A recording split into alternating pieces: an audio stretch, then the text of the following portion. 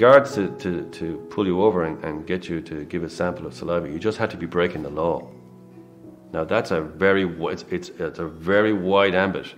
The 2010 Act allows them to demand a saliva sample from anyone who's breaking the law. You don't uh, you don't have to. All you have to do is is, is in, you know create some breach of the law in some way.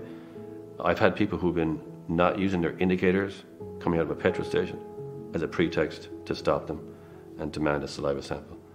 And then they give a saliva sample, and if it shows up, they're being arrested. Uh, that's any little any little infraction at all is enough to justify a stop, and in some cases, I think it's quite unfair, to be honest.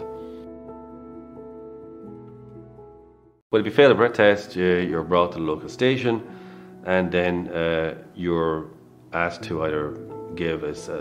You're brought to the, the intoxilyzer room or the room where the intoxilyzer machine is kept, and then you're, you're, you're brought through the process of blowing into that machine to give what's known as two specimens of your breath.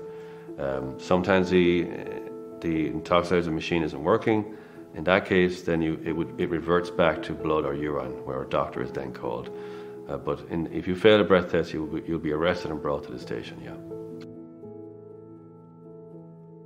Road traffic is it's something that really affects people a great deal. I mean, what, what, what you discover with road traffic is that it means a lot to people.